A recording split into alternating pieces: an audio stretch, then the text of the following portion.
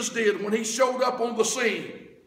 The first thing he does when he shows up in your life, and he's showing up in your life right now. You know what the first thing he's doing? He's praying to his Father on behalf of you.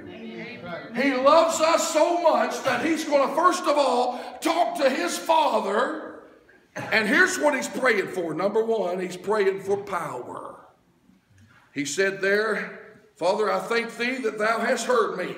And I knew that thou hearest me always. But because of the people which stand by, I said it that they may believe thou hast sent me. And when he had thus spoken, he cried with a loud voice, Lazarus, come forth. Amen. Amen. So, everybody, write that down. Think about that just for a moment. Talking about prayer.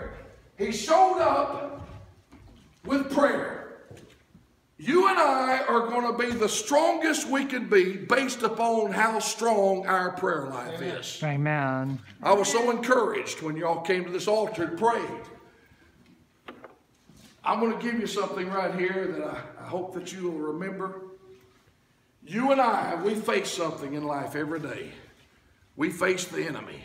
Amen. And there is a power. Now listen to this.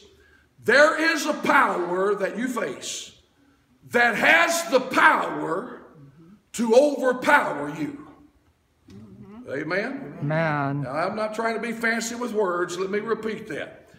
There is a power that has the power to overpower you. But hallelujah. Hang on. Somebody's going to want to shout. Get you a good toe hold in this carpet. When Jesus shows up in your life, He has the power Amen. to overpower right. the power Amen. that has overpowered your life. Amen. All the time. He has that power. Amen. So, whatever you're facing today, whatever is hindering you from coming all the way back, I've heard great testimonies about this, this uh, family sitting right here uh, was it Richard? Right. And uh, Christy, but the son's name? Richard. Richard Jr., right? And uh, you got a daughter that song that blessed our hearts. Heard a great testimony about this family. I had met them, they were just coming the last time I was here because I remember you, recognized you. And uh, they were going through some difficult times. Just like the rest of us, the power that has the power to overpowering us was overpowering them. Is that, is that a correct statement? Amen. Is that a good, is that all right to say that? Amen. Amen. But you know what I've heard? I've heard the good or the greatest news one can hear. I've heard since I was here two years ago that the one who has the power to overpower the power that was overpowering them, he showed up in their life and he said, Richard, Christy, come forth. Amen. Amen. He showed up with prayer because he prayed for that power to his Father. Only God can mend lives. Only God can bring back broken homes. Only God can reach down into a addicted life, into a life that has lost it all, and say, In my face, in my presence, you can have everything back and then have it back continually. Amen. What a God we serve. Yeah, thank you, Jesus. Man, I just feel like preaching today. Amen. Amen. So he showed up with prayer. Secondly, talking about support now, Jesus, when he comes, he's going to give you support. He's going to give you prayer. And then number two, he's going to show up with pair. Amen. Pair. Let me, P A I R E R. A pair of something. Are you with me? Pair. You say, well, what in the world are you talking about? Pair. Charles Osgood, y'all remember him? Journalist, CBS commentator. Years ago would have documentaries. I was watching one day and he come on with a true story. He was interviewing two elderly ladies Both of them were in the resident, a residence of the same nursing home. Both of them had suffered a severe stroke.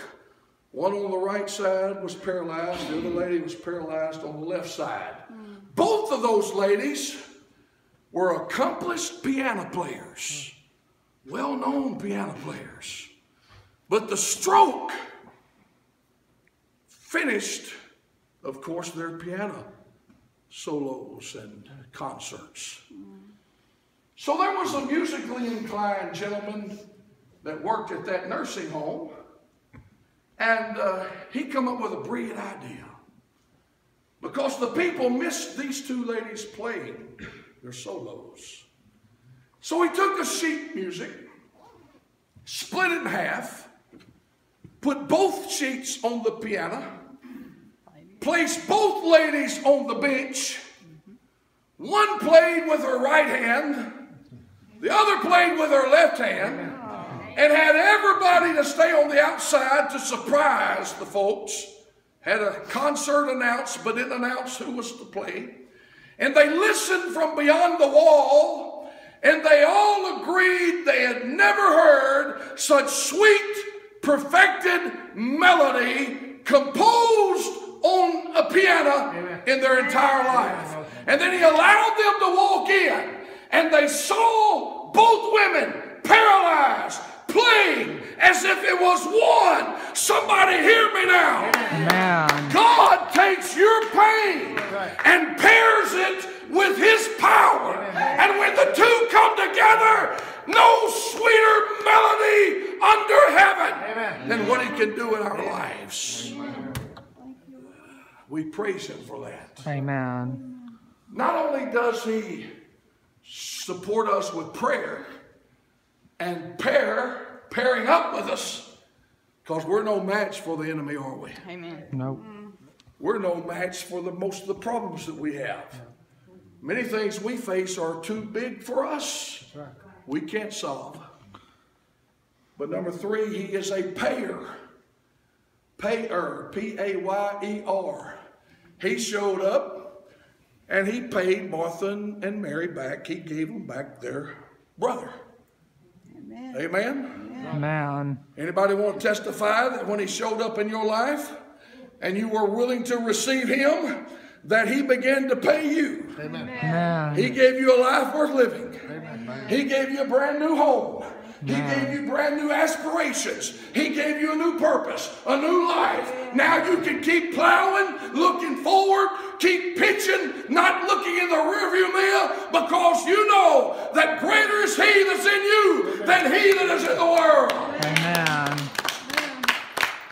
And when we face those troubled times, we still can smile at them. Amen. To Know what God's done before, He still can do again Amen. to get us through.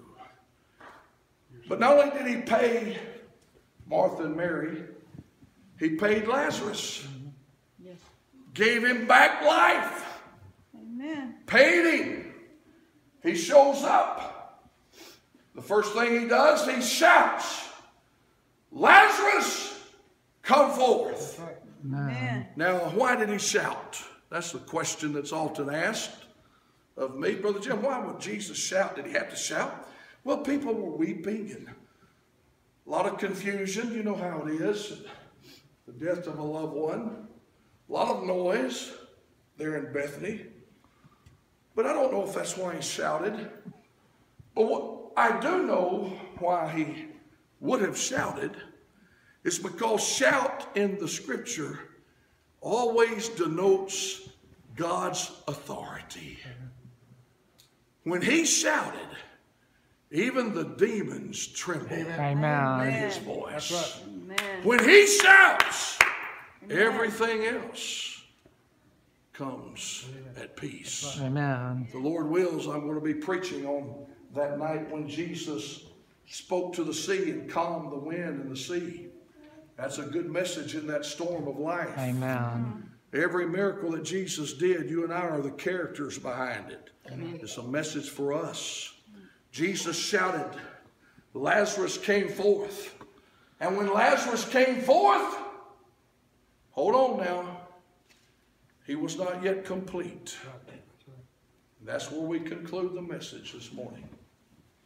When he came forth, if you read the next scripture, he's still bound with those grave clothes. He's alive, but he's still bound. Mm-hmm. You know what a miracle that was?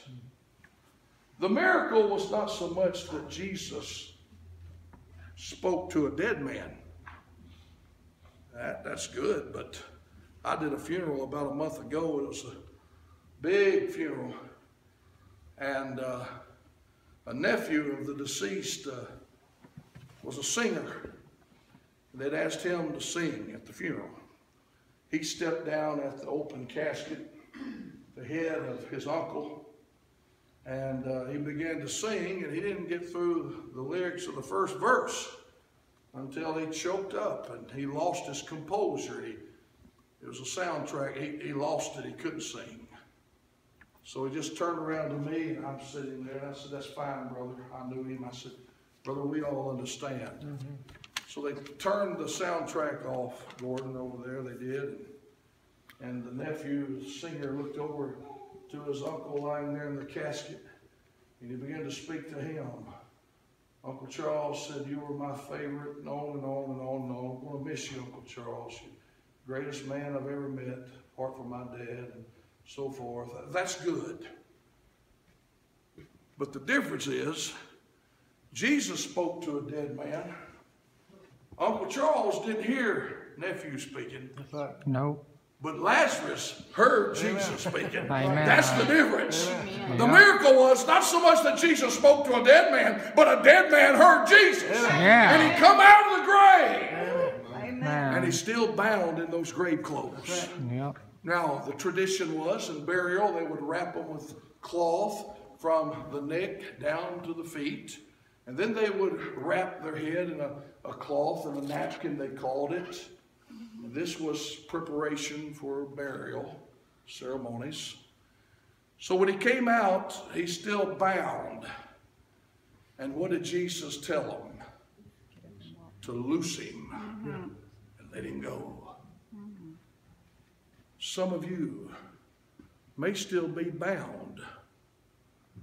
Though the Lord has spoken to you, though you've heard Him, though you come out and got a new life in salvation, often some of us remain bound with some of those grave clothes. Amen. Grave clothes represent the traditions and the customs of the culture and of the times. A lot of folks are still bound by religion. Amen. Religion has never done anything for you. Amen. You mark that down. Amen. Only Jesus in a relationship with Him has done anything for you, Amen. me. And so they, Jesus said, Loose him.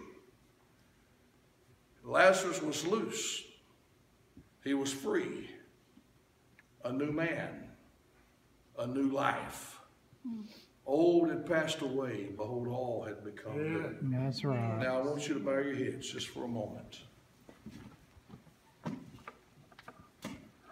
Not only did Jesus show up with support, prayer, pair, he paired his power with their pain.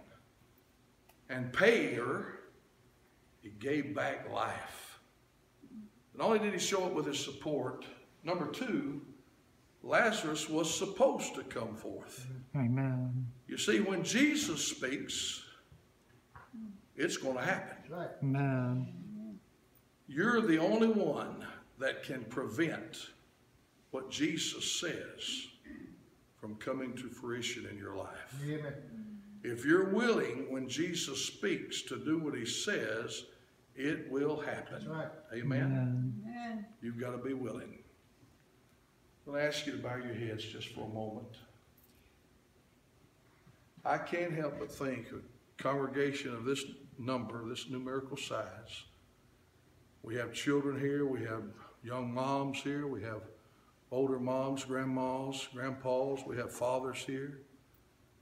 We have brothers, sisters, we have some maybe just come in just to visit, singles. But I